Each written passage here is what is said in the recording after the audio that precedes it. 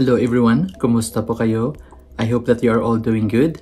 This time, we will take a break or a pause mula sa mga regular contents po natin to give way sa mga questions and comments na natatanggap po natin dun sa mga published videos. But before that, if you are new to this channel and if you think that this channel can be of help in providing you with useful and relevant information, please feel free to subscribe to this channel and click on that notification bell icon so that you will get notified of our future videos.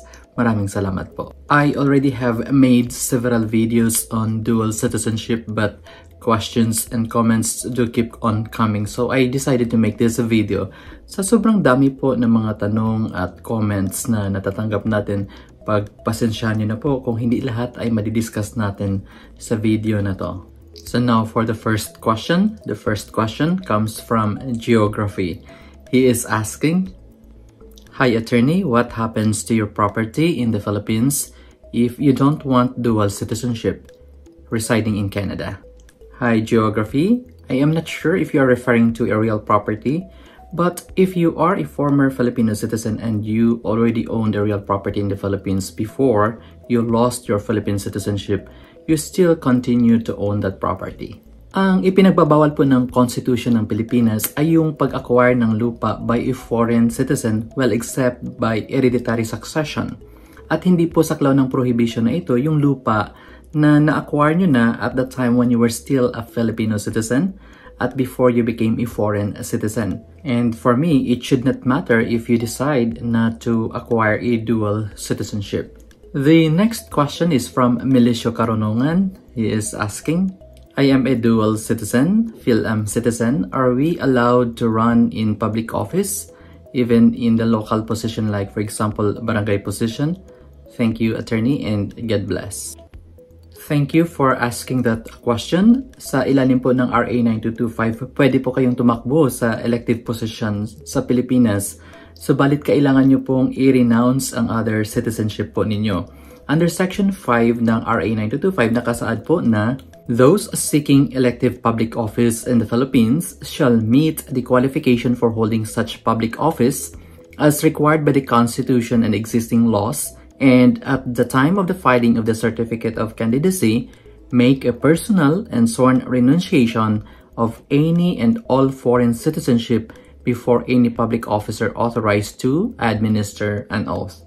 So, kailangan nyo talagang i-sacrifice yung other citizenship po ninyo if you want to enter the Philippine politics. I-barangay position, whether it is the position of the punong barangay or the position of the member of the Sangguniang Barangay is considered as an elective public office. We also have a comment from Mount Zion, Heavenly Jerusalem. Allow me to read this one. That is not true when you said that having a dual citizenship will lose your US Social Security benefit. It only applies to a person who is born in the US and renounced his US citizenship. It does not apply to the person who is naturalized US citizen. Well, with all due respect, I can vividly recall na hindi ko po sinabi na once you become a dual citizen, you will lose your US Social Security benefits. On the contrary, ang sinabi ko po ay having a dual citizenship will not affect your social security benefit. Sana naman po ay huwag niyo akong i-misquote. And you must have read in the comments na may mga nakapag-claim naman po ng kanilang social security benefits kahit na sila ay nag-dual citizen na and they are already residing in the Philippines. Isa na po dito yung comment ni GV2035. Ang sabi po niya, Receiving your SSA benefits in the Philippines as a dual citizen is not a problem at all. Many commercial banks in the Philippines can legally receive SSA benefits for US citizens living here, no problem. You just need to apply and a representative from the SSA office in the US Embassy in Manila will call you for a phone interview. They tell you what to do and you get your benefits in the Philippine bank. I know because I am a dual citizen retired here and I am receiving benefits. My husband is a US national who lives here in the Philippines and he receives his SSA benefits as well. Thank you GV for sharing that. It is well appreciated. We have another question here from GB Garcia. Attorney, can you also discuss the advantages and disadvantages of former Filipinos if in the future they wanted to do business in the Philippines? Does the 60-40 rule apply to former Filipinos? Are former Filipinos only limited to certain businesses or industry? Thank you for asking this question. This is a very good question to properly set the premise. When you acquire a foreign citizenship and thereby you abandon your Philippine citizenship, you necessarily become a foreigner from the point of view of the Philippine law. It is true that under RA 9225, you are not deemed to have lost your Philippine citizenship when you get naturalized as a citizen of another country.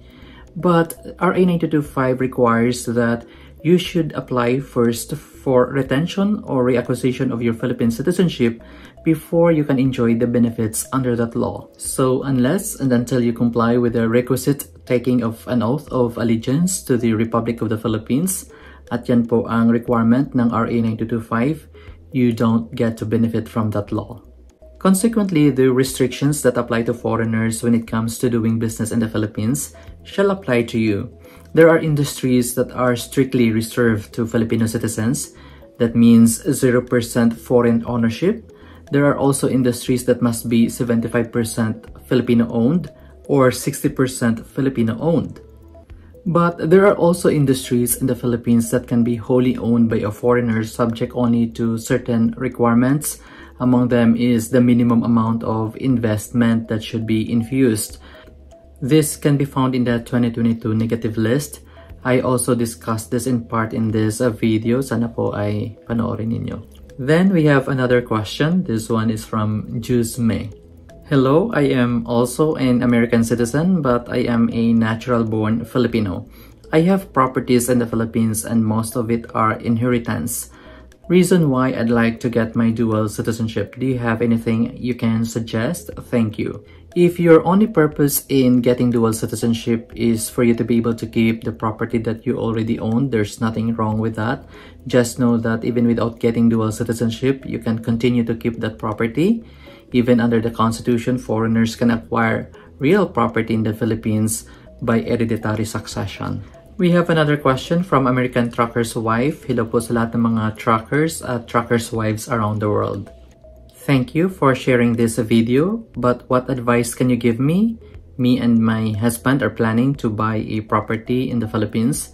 If I give up my Filipino citizenship, am I still entitled to own a property in the Philippines? Yes, being a former natural-born Filipino citizen, under BP 185 you can be a transferee of up to 1,000 square meters of urban land or 1 hectare of rural land for residential purposes. Under RA 8179, you can also own up to 5,000 square meters of urban land or 3 hectares of rural land for business purposes. Another question is from Lucia Gabas. Hello, kumusta po kayo? May tanong lang ako kasi dual citizen na ako dito sa Canada at retired na ako, may bahay ako sa Pilipinas. Paano ba yan? Idi magbabayad ako ng double tax at may mana pa ako sa aking nanay at tatay. Please, kailangan ko ang paliwanag ninyo. Thank you. God bless.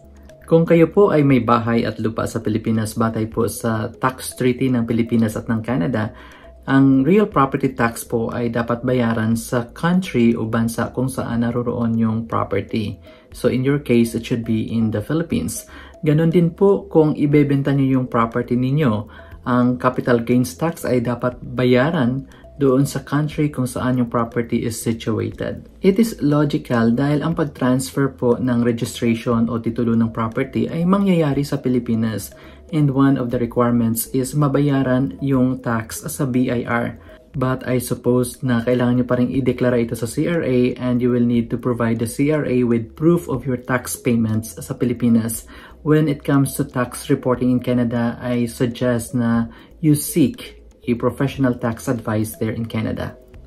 In relation to tax, may tanong din po si Gratitude to the Universe in my understanding about the tax is if you do not earn income in the Philippines, you will not be taxed if you are a dual citizen. Can they do double taxation in both countries? Please enlighten me. Thanks. Under Philippine tax law, we need to qualify. Kung kayo po ay Filipino dual citizen, you are treated as a Filipino citizen for purposes of Philippine income taxation. but it will depend on whether you are resident or non-resident of the Philippines. Kung kayo po ay resident citizen ng Pilipinas, taxable po ang income ninyo from within and from outside the Philippines. Kung kayo naman po ay non-resident Filipino citizen, taxable lang po kayo sa income ninyo na nanggaling from within the Philippines. So kung wala naman po kayong income na nanggaling sa Pilipinas and you are a non-resident Filipino citizen, hindi po kayo taxable sa Pilipinas. But as to whether or not taxable ba sa ibang bansa ang income ninyo na nanggaling sa Pilipinas, it would depend on whether or not may tax treaty ba ang Pilipinas at ang bansang yun. May nasa 43 countries na po na with whom the Philippines has a double tax agreement. I will provide you with a link to the list of the countries which have tax treaties with the Philippines and the copies of those double tax agreements in the description of this video. Maraming salamat po sa inyong mga tanong. Marami pa po tayong mga tanong na nais masagot but we will continue to do that in our next video. I hope na I was able to provide clear answers and explanations. Please let me know of your thoughts and reactions in the comment section below and please feel free to share this video and all my other videos to others who may possibly benefit from them. And if you haven't subscribed to this channel yet, please do so and don't forget to click on that notification bell icon so that you will get notified of our future videos. Always remember, ignorance of the law excuses no one from compliance therewith. I will see you in my next video. Ingat po kayo.